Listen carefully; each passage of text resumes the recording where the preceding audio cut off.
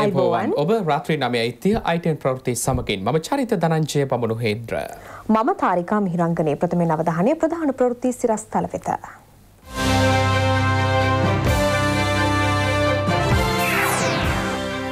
ජනපතිගේ සාතිකය ජනාධිපති වරණය මේ අවුරුද්ධ අවසානය තියෙනවා නම් ප්‍රධාන වශයෙන්ම ඔබට මම දෙන පණවිඩේ තමයි පක්ෂයත් ඔබත් කිසි කෙනෙක් අතරමං වෙන්න නැති ඔබටත් ඔබේ ආත්ම ගෞරවය රැකෙන ගෞරවනීය තීන්දුවක් තම අපි ගන්න. තේරීම් කාරක සභාව වාර්තා කිරීමේදී මාධ්‍යට සීමාවක්. බ්‍රතාන්‍ය පාලනය ඇති කළ රේගු ආඥා පනතේ වෙනසක් ළඟදීම. නව රේගු පනතක් හඳුන්වා දීමට අපි ක්‍රියා කරමින් ඉන්නවා. ශ්‍රී ලාංකිකින්ට ජපානයේ රැකියා වරම් ලබා දෙන කිවසුමකට අත්සන්.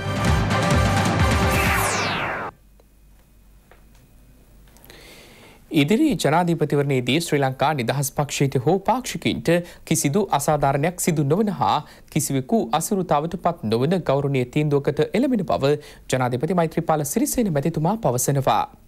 ශ්‍රී ලංකා නිදහස් පක්ෂ කාන්තා පෙරමුණ නියෝජනය කරන පළාත් පාලන මන්ත්‍රීවරයන් හමුවේ ජනාධිපතිතුමා මෙම අදහස් පළ කළා.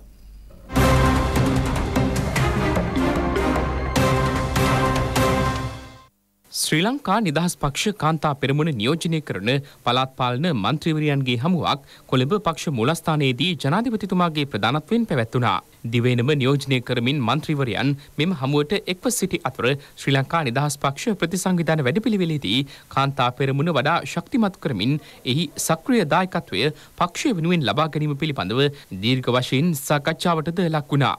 එහිදී ජනාධිපතිතුමා පැවසුවේ ශ්‍රී ලංකා නිදහස් පාක්ෂිකින් සියලු දෙනාට සතුටු විය හැකි ශක්තිමත් දේශපාලන වැඩපිළිවෙලක් ඔස්සේ පක්ෂයේ කටයුතු ඉදිරියට මෙහෙයවන බවයි. අපි ශ්‍රී ලංකා නිදහස් පක්ෂයේ විදිහට ජනාධිපති වරණය මේ අවුරුද්ධ අවසානය තියෙනවා නම් ප්‍රධාන වශයෙන්ම ඔබට මම දෙන පණවිඩේ තමයි පක්ෂයත් ඔබත් කිසි කෙනෙක් අතරමං වෙන්න නැති ඔබටත් ඔබේ ආත්ම ගෞරවය රැකෙන ගෞරවනීය තීන්දුවක් තම අපි ගන්න. පළාත් පාලන ආයතනවල ඉන්න මන්ත්‍රීවරු එක්දාස් හැටත් ඔක්කොම ගත්තාම. අපේ පාර්ලිමේන්තු කණ්ඩායම් අපේ පක්ෂ සංවිධානවල ඉන්න අය. මේ ඔක්කොම ගත්තහම අපි බොහොම පැහැදිලිව මම කියන්නේ ඉතාම වැදගත් ගෞරවනීය තීන්දුවකට තමයි අපි යන්නේ. එහෙම නැතුව මාරු වැටෙන අසරණ වෙන එහෙම තීන්දුවකට යන්නේ නැහැ. ඔබටත් රටටත් පක්ෂයටත් හොඳක් වෙන තීන්දුවක තමයි අපි ඉන්නේ. ශක්තිමත් දේශපාලන වැඩපිළිවෙල එකයි අපි ඉන්නේ. ඒක බොහොම පැහැදිලිව තේරුම් ගන්න. කවුරුන් කෙසේ කුමන විදිහට මාව විවේචනය කළා. මේ රට තුළමං ප්‍රජාතන්ත්‍රවාදය ස්ථාපිත කරලා තියෙනවා බොහොම පැහැදිලි. ඒක තමයි ලොකුම ජයග්‍රහණය. ඔය මාධ්‍යයෙන් ගහන්නෙත් ඒ ප්‍රජාන්ත්‍රවාදය දීලා තියෙන නිදහස් අයිතිය නිසා. දෙදස් පහළවේ ජනවාර්යයට මගේ මැතිවරණ ප්‍රකාශනය මම කරපු ප්‍රධානදේ රට තුළ ප්‍රජාන්ත්‍රවාදය ස්ථාපිති. ඒක කරලා තියෙන. මෙහිදී ශ්‍රී ලංකා නිදහස් පක්ෂී මහලේකම් පාර්ලිමින්තු මන්ත්‍රී දැසිරි ජයසේකර මහතාද අදහස් පළ කළා. ගම ඇතුලේ තමුන්නාසලට වැඩ කරන්න යම් ස්වයන් රැකියා අරමුදලක් හදලා වැඩපිළිවෙලක් හදන වැඩපිළිවෙලත් ශ්‍රී ලංකා නිදහස් පක්ෂයට බැඳිලා ඉන්න කාන්තාවන්ට පමණක්. එහෙම වැඩපිළිවෙලක් අපි ගේනවා. ඉදිරි මාසයේ අපේ අතිගරු ජනාධිපතිතුමා නැවත ජනාධිපති කිරීමේ සටන අපි ආරම්භ කරලා තියෙන්නේ. ඒ නිසා බය නැතුව තමුන්නාසලා කතා කරන්න ගිහිල්ලා හැම ප්‍රාය සභාවකම පළාත් සභාවකම තියෙන හැම තැනකම තමුන්නාසලා අපේ නායකයා ගැන කතා කරන්න. ජනාධිපතිවරණයට ඉදිරිපත් කළා අපේ ඉදිරි නායක බවට පත් කරන්න අපේ රටේ ජනාධිපතිවරයා බවට පත් කරන්න 153ක් ඉන්න කාන්තාව තමුන්නාසලට තමයි පුළුවන්කම තියෙන්නේ. ඒ නිසා ඒකට හයිය දෙන ලෑස්ති වෙන්න.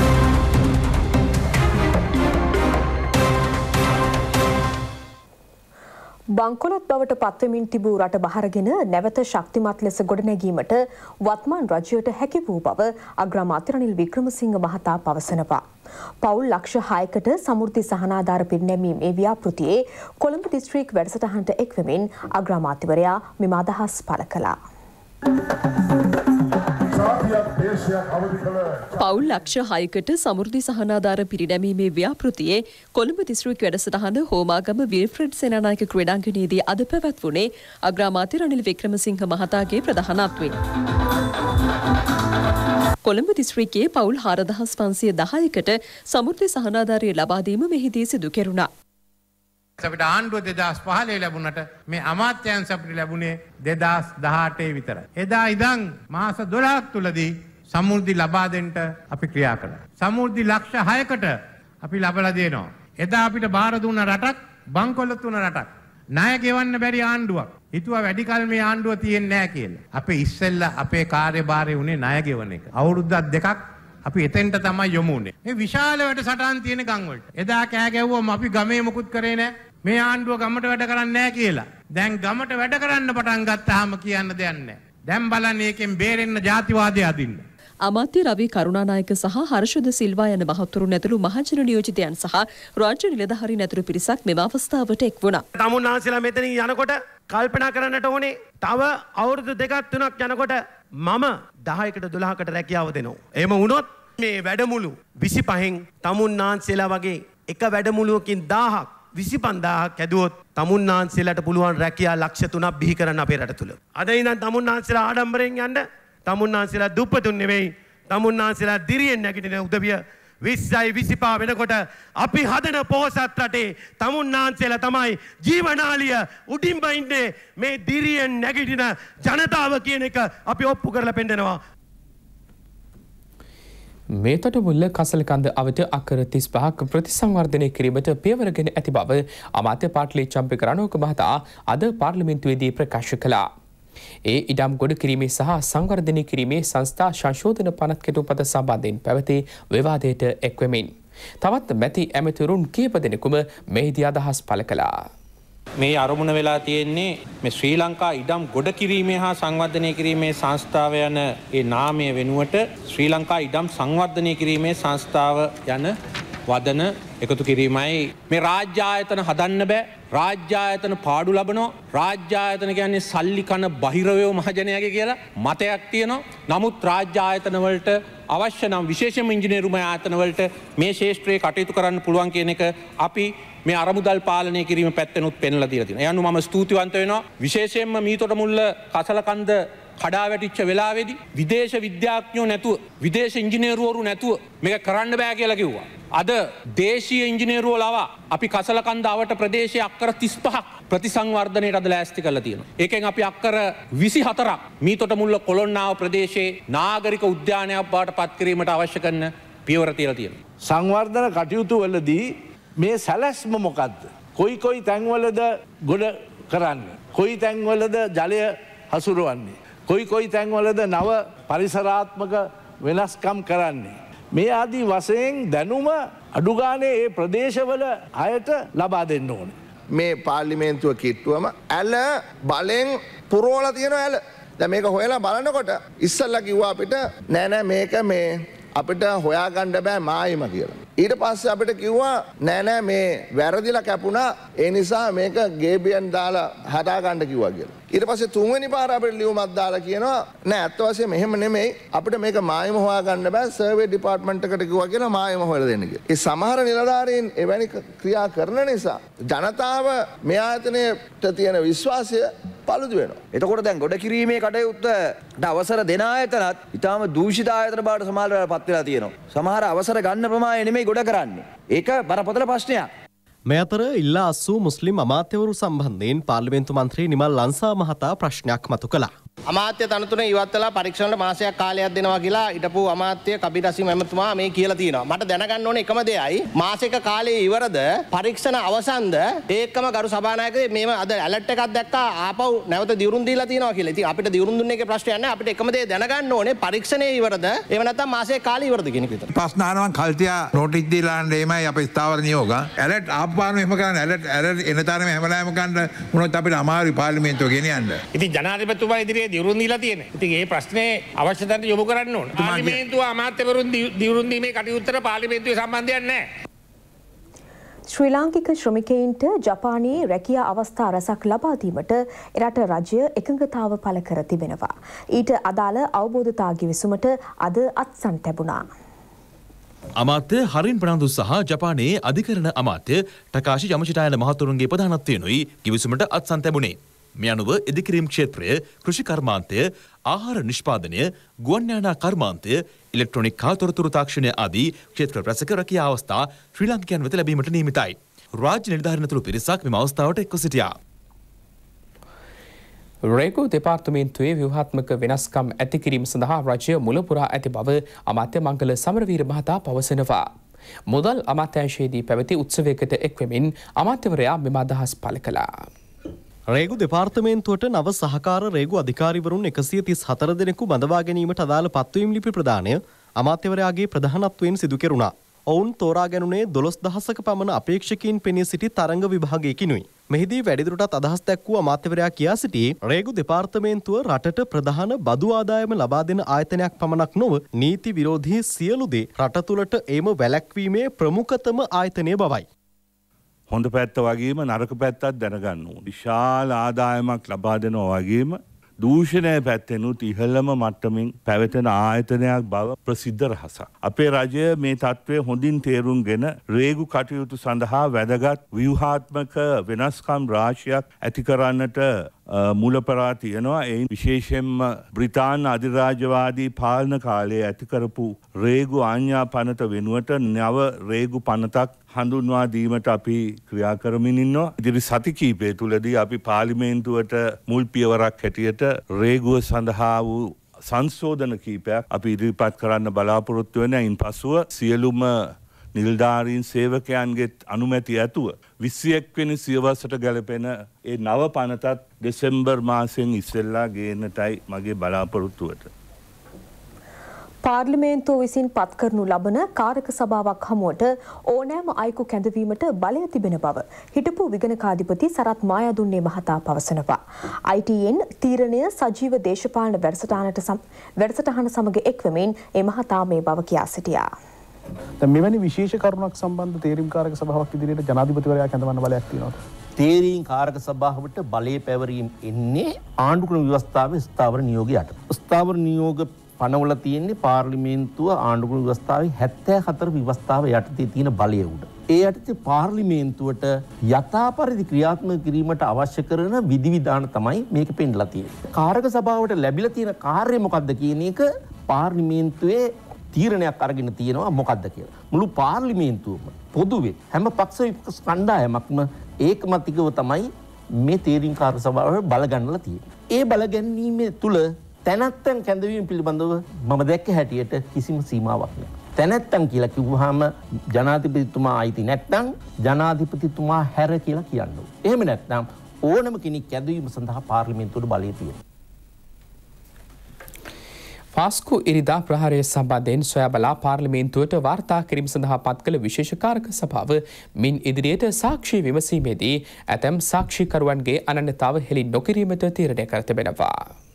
සාක්ෂි විමසීම රහසිගතව සිදුකිරීමට අද පස්වරුවේ රැස්සූ එම කාරක සභාව තීරණය කළා. එය අනුව ඇතැම් සාක්ෂි විමසීමේදී මාධ්‍ය නොමැතිව එම කටයුතු සිදු කිරීමට තීරණය කළ බවයි. එහි සභාපති නියෝජක කතානායක ආනන්ද කුමාරසිරි මහතා ප්‍රකාශ කළේ.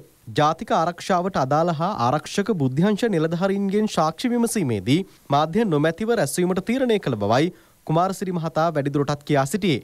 සාක්ෂි විමසීම සඳහා කැඳවන සාක්ෂිකරුවන්ගේ ලේඛනයක්ද පාර්ලිමේන්තු කාරක සභාව සකස් කර තිබෙනවා. කෙසේ වෙතත් හෙට දිනේ සාක්ෂි විමසීමට නියමිතව තිබෙන්නේ සමස්ත ලංකා තවහිද් ජමාත් හා ශ්‍රී ලංකා තවහිද් ජමාත් යන සංවිධාන නියෝජිතයන් ගෙනුයි. කුරුණෑගල රෝහලේ වෛද්‍ය ෂේගු ශිහාබ්දීන් මොහොමඩ් ශාෆි සම්බන්ධ විමර්ශන අපරාධ පරීක්ෂණ දෙපාර්තමේන්තුවට බහර කර තිබෙනවා. පුද්ගලීන් හත්සිය පනස් අට දෙනෙකුගෙන් මේ වන විටත් ප්‍රකාශ සටහන් කරගෙන අවසන්.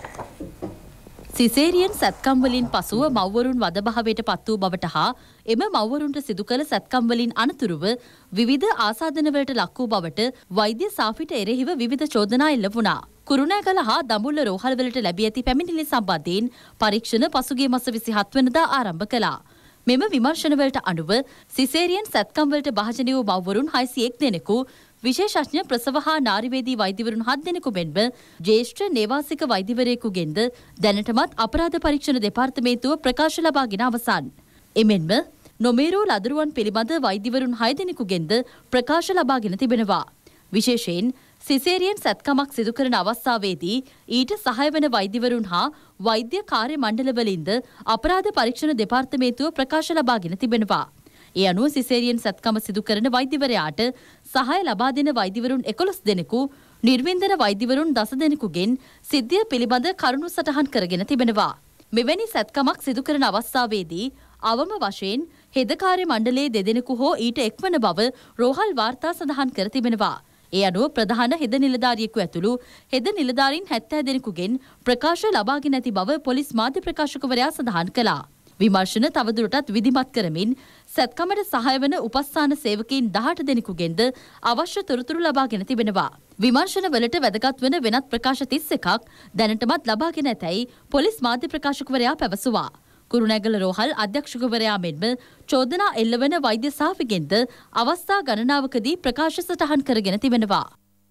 මේ නඩුව කුරුණෑගල ගරු මහේස්ත්‍රාත් අධිකරණය ඉදිරියේ මේ මාසේ විසි හත්තනිදා කැඳවීමට නියමිතව තිබෙනවා. විමර්ශනවලට අදාළව කුරුණෑගල ගරු මහේස්ත්‍රාත් අධිකරණයෙන් අපරාධ පරීක්ෂණ දෙපාර්තමේන්තුවේ ඉල්ලීම මත වරින් වර ගරු අධිකරණයෙන් අධිකරණ නියෝග කිහිපයක්ම නිකුත් කර තිබෙනවා. මේ පැමිණිලිකාරියන් මේ කාන්තාවන් පරීක්ෂා කිරීම සඳහා විශේෂඥ පරීක්ෂණ මණ්ඩලයක් පත් කරමින් ගරු අධිකරණය අධිකරණ නියෝගයක් නිකුත් කළා. කොළඹ ප්‍රධාන අධිකරණ වෛද්‍ය නිලධාරීගේ සභාපතිත්වයෙන් යුක්තව ඊට අමතරව තවත් විශේෂඥ ප්‍රසව හා නාරිවේදී වෛද්‍යවරුන් දෙදෙනෙකුගේ සාමාජිකත්වයෙන් යුක්තව එම කමිටුව ස්ථාපිත කර තිබෙනවා. පරීක්ෂා කිරීම සිදු කිරීමට නියමිතව තිබෙන්නේ කොළඹ කාසල් රෝහලේදී සහ කොළඹ ද සොයිසා කාන්තා රෝහලේදී. අපරාධ පරීක්ෂණ දෙපාර්තමේන්තුව විසින් මේ විමර්ශනය බාරගෙන සති තුනක පමණ කාලයක් වෙන්නේ ඒ සති තුනක පමණ කාලය තුළදී මෙපමණ විමර්ශන ප්‍රමාණයක් සිදු කිරීමට හැකියාව ලැබුණා තවම විමර්ශන අවසන් නැහැ මේ විමර්ශන ඉදිරියටත් සිදුවෙනවා.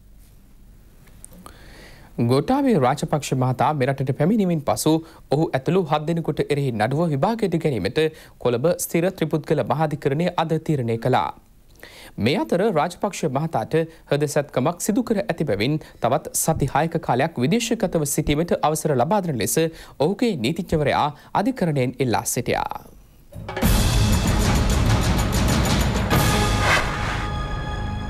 හිටපු ආරක්ෂක ලේකම් ගෝටාවේ රාජපක්ෂ මහතාට වෛද්‍ය ප්‍රතිකාර සඳහා විදේශගතවීමට පසුකේතා අධිකරණය අවසර ලබා දුන්නා. ඒ ජූනි මස දෙවනදා සිට 19 වනදා දක්වායි. ඩීඒ රාජපක්ෂ කෞතුකාකාරය ඉදිකිරීමේදී රුපියල් මිලියන 33.9ක් සාවද්‍ය පරිහරණය කිරීමේ චෝදනාවට අදාළ නඩුව ත්‍රිපුද්ගල විනිසුරු මඩුල්ල හමුවේ අද යලි විභාගයට ගත්තා. එහිදී ගෝඨාභය රාජපක්ෂ මහතාගේ නීතිඥ අලි සබ්රි මහතා කියා සිටියේ රාජපක්ෂ මහතාට සිංගප්පූරුවේ රෝහලකදී මැයි 31 වනදා හෘද සැත්කමක් සිදු කර ඇති බවයි. ශල්ල කර්මයෙන් පසුව රෝහලින් පිටවගේද සති 6ක කාලයක් පුනරුත්ථාපන ප්‍රතිකාර සඳහා විවේක ගැන්විය යුතු බවට වෛද්‍යවරු නිර්දේශ කර ඇතැයිද ඔහු කියා සිටියා. ගෝඨාභය සභාවේ රාජපක්ෂ මහතා ජූලි 24 වනදා දෙවයිනට පැමිණීමට නියමිත බවයි නීතිඥවරයා වැඩිදුරටත් ප්‍රකාශ කළේ. ඒ අනුව එදිනෙතෙක් විදේශගත වීමට ඔහුට අධිකරණයේ අවසර ලබා දුන්නා. හිටපු අමාත්‍ය බැසිල් රාජපක්ෂ මහතා මාතර එලියකන්ද ප්‍රදේශයේ ඉඩමක් මෙලෙදීගත් බව කියන සිද්ධියක් සම්බන්ධයෙන් පොලිස් මූල්‍ය අපරාධ කොට්ටාශය ගොනු කළ නඩුවක් මාතර මහිස්ත්‍රාත් අධිකරණයේදී අද විභාගයට ගෙනුණා. අක්කර එක හමාරක මෙම ඉඩම සම්බන්ධයෙන් වූ නඩුව දෙදහස් පහළ වසරේදී පවරා තිබෙනවා. මෙම සිද්ධිය සම්බන්ධයෙන් අධිචෝදනා ගොනු කර නැති බව විත්ති පාර්ශවය ප්‍රකාශ කළා. ඒ අනුව විශේෂ නඩුවක් නොවන බැවින් දීර්ඝ දිනයක් ලබා දෙන බවයි මාතර ප්‍රධාන මහිස්ත්‍රාත් ඉසුරු නෙත්තිකුමාර මහතා ප්‍රකාශ කළේ. වැඩිදුර නඩු විභාග විභාගයේ ලබන වසරේ මාර්තු 18 වනදා දක්වා කල් තැබුණා. මහබැංකු බැදුම් කර සිද්ධියට අදාළ මහිස්ත්‍රාත් පරීක්ෂණවලදී විදේශ ගමන් තහනමකට ලක්කර තිබූ පර්පචුවල් ටෙෂරි සමාගමේ සභාපති ජෙෆ්‍රි ඇලෝසිස් මහතාට විදේශගත වීමට ලබා දී තිබූ අවසරය අවලංගු කරන ලෙස ඉල්ලා නීතිපතිවරයා මෝසමක් ගුණ කළා. දියණියගේ විවාහ මංගල උත්සවයකට සහභාගී වීම සඳහා ඇලෝසිස් මහතාට ජූලි පළවනදා සිට 11 වෙනිදා දක්වා සිංගප්පූරුවේ සංචාරය කිරීමට කොළඹ ප්‍රධාන මහිස්ත්‍රාත් ලංකා ජයරත්න මෙනිවිය මීට පෙර අවසර ලබා දුන්නා.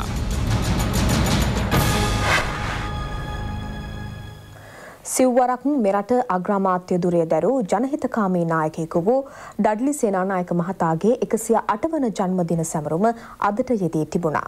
ඒ වෙනුවෙන් සැමරුම් උත්සවය පැවැත්වුණේ කතානායක කරු ජයසූරිය මහතාගේ ප්‍රධානත්වයෙන්. බොරැල්ල සේනානායක වටරව් මාසල පිහිටි ඩඩ්ලි සේනානායක ප්‍රතිමාව අභියසදී පැවති සැමරුම් උත්සවයට මැති ඇමතිවරුන් ඇතුළු විශාල පිරිසක් සහභාගී වුණා. ඩඩ්ලි සේනානායක මහතාගේ පිළිරුවට පුෂ්පෝපහාර දැක්වීමද මෙහිදී සිදු කෙරුණා.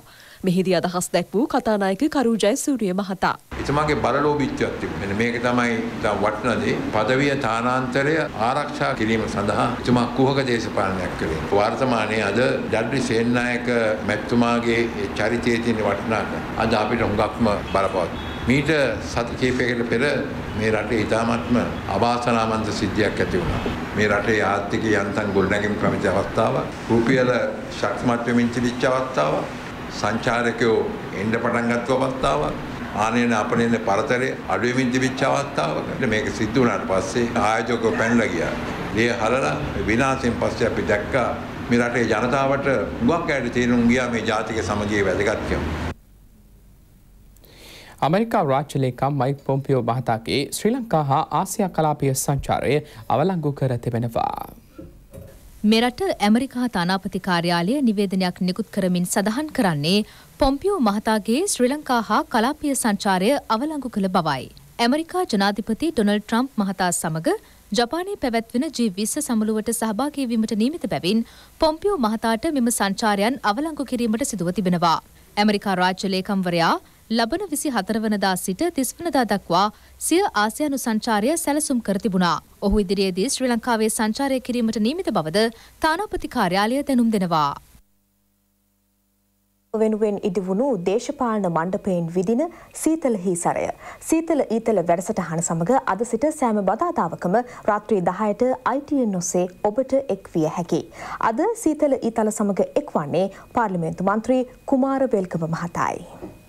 අපි සූදානම් කෙටි විරාමයක් ලබා ගන්න. ඔබ නැවතත් අයිටෙන් ප්‍රවෘති සමගින්. කබිර් හශිම් හා අබ්දුල් හලීම් යන මහතුරුන් සිය අමාත්‍ය දුරවල ජලී තෙවරුම් දුන්නා.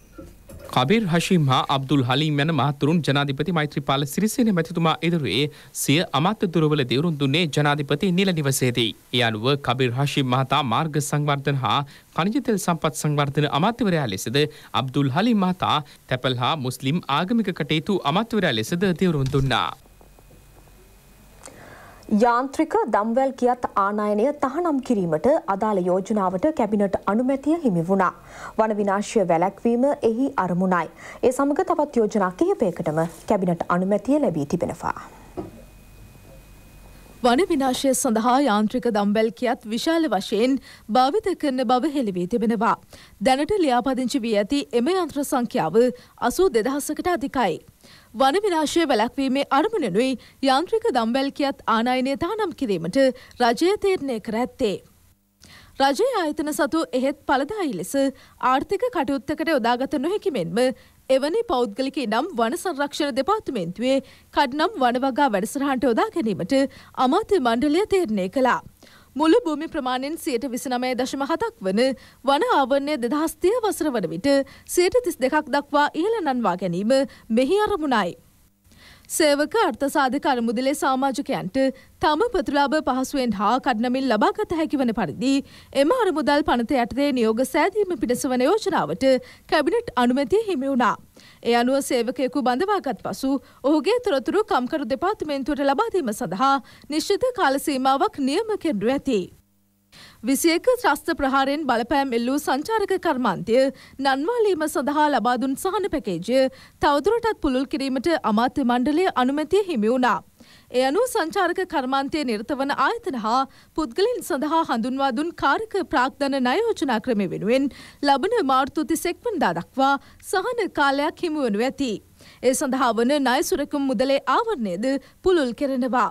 මගේ බස්රථ හිමියන් සඳහා මාස දෙකක නයසහන කාලයක් ලබාදීම හා සංගීත කණ්ඩායම් සඳහාද කාරක ප්‍රාග්ධන නයෝජනා ක්‍රමය හඳුන්වාදීමට නියමිතයි. සංචාරක කර්මාන්තයට අදාළ කුඩා පරිමාණයේ අවිධිමත් අංශවල සේවාවන්ය නියුතුවන්ටද සංචාරක පොඩ්ඩෝ නමින් සහනන යෝජනා ක්‍රමයක් ක්‍රියාත්මක කරනු ඇති. මහනායක ස්වාමීන් වහන්සේ සහ එක්සත් ජාතික පාක්ෂිකින්ගේ ඉල්ලීම් මත යළි තම අමතතුරේ දෙවරුන් දුන් බව අමත කවිර් හශී මහතා පවසනවා. මාවනැල්ල ගල්කන්ද ප්‍රදේශයේ පැවති උත්සවයකට එක්වෙමින් එමහතා මේ බව ප්‍රකාශ කළා. මහනායක ස්වාමින් වහන්සේලා වගේම කාඩිනල්තුමත් මේ ගැන ප්‍රකාශයක් කරලා තිබුණ ඒ වගේම මුස්ලිම් ප්‍රජාවේ පූජකවරුන්නුත් මේ ගැන කතා කරලා තිබුණ ඒ සියලු ආගමික නායකයන්ගේ ඉල්ලීම වගේම විශේෂම මගේ පක්ෂය එවගේම සජිත් ප්‍රේමදාස මැතිතුමා අගමැතිතුමා ඒ වගේම ජනාධිපතිතුමා සහ විශේෂයෙන්ම මගේ ඡන්දදායකයෝ කරන ඉල්ලීම තමයි අද අපේ තීරණය වෙනස් කිරීමට බලපෑවේ. අද මධ්‍යම රාත්‍රයේ ආරම්භ කිරීමට නියමිතව තිබූ දුම්රිය වැඩවර්ජනය හෙට දිනේ මුදල් අමාත්‍ය මංගල සමරවීර මහතා සමග සාකච්ඡා කර තීරණයක් ගන්නාතෙක් නතර කර තිබෙනවා. මේ පිළිබඳ දුම්රිය වෘත්තීය සමිති නියෝජිතයින් අදහස් දැක්වුවා. මධ්‍යම රාත්‍රියේ 12 සිට වෘත්ති සමිති ක්‍රියාමාර්ගයකට එළඹීමට තීරණය කළා තිබ්බා.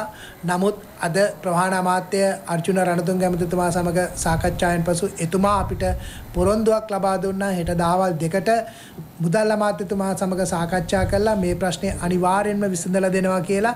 ඒ ඉල්ලීම් අනුව හා එතුමා දුන් පොරොන්දුව අනුව හෙට දහවල් දෙකට මුදල් ඇමතිතුමා සමග සාකච්ඡා කර අපේ මේ ප්‍රශ්නයට විසඳුමක් ලබා නුදුන්නොත් වෘත්ති සමිති ක්‍රියාමාර්ගයකට එළඹෙනවා.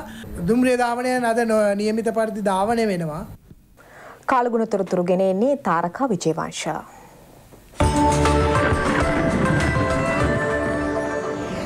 හෙට දවසේ කාලගුණය පිළිබඳ අවධානය යොමු කරන විට දෙවැනි බස්නාහිර සවරගමුව වයඹ සහ ඌව පළාතුලට වැසි හෝ ගෙගුරුම් සහිත වැසි ඇති විය හැකියි. ගෙගුරුම් සහිත වැසි ඇති වන විට එම ප්‍රදේශවලට తాවකාලිකව තද සුළං ඇතිවන අතර අකුණු මගින් සිදුවිය හැකි අනතුරු අවම කර ගැනීමට අවශ්‍ය පියවර ගන්නා ලෙස කාර්මික දෙපාර්තමේන්තුව ජනතාවගෙන් ඉල්ලා සිටිනවා. ඇතැම් ස්ථානවලට මිලිමීටර් 50ක් තරම් වූ තද වැසිද බලාපොරොත්තු වන්නට පුළුවන්. දෙවනට මුද ප්‍රදේශ පිළිබඳව අවධානය යොමු කරන විට කොත්තලම සිට කොළඹ දක්වාත් ගාල්ල සිට හම්බන්තොට දක්වා වෙරළට ඔබ්බෙන් වූ මූද ප්‍රදේශවලට වැසි හෝ ගෙගුරුම් සහිත වැසි ඇති විය හැකි. ගෙගුරුම් සහිත වැසි ඇති වන විට එම ප්‍රදේශවලට තාවකාලිකව තද සුළං ඇතිවන අතර එවිට මුහුදු ප්‍රදේශ විටින් විට රළුවීමේ ඉඩ කඩක් පවතිනවා. මේ පිළිබඳ ඩිවර සහ නාවික ප්‍රජාව විමසීමත් වන ලෙස කාල්ගුණ දෙපාර්තමේන්තුව ජනතාවගෙන් ඉල්ලා සිටිනවා. සුළං හමන්නේ නිර්ත දෙසින් සුළගේ වේගය පැඩි කිලෝමීටර් 30ත් 47ත් අතරක් යන්ගන්නවා. ද නවදාන හෙට දවසේ ප්‍රධාන නගර කිහිපයකට බල පැවතිය හැකි කාලගුණ අනාවැකිය වෙත.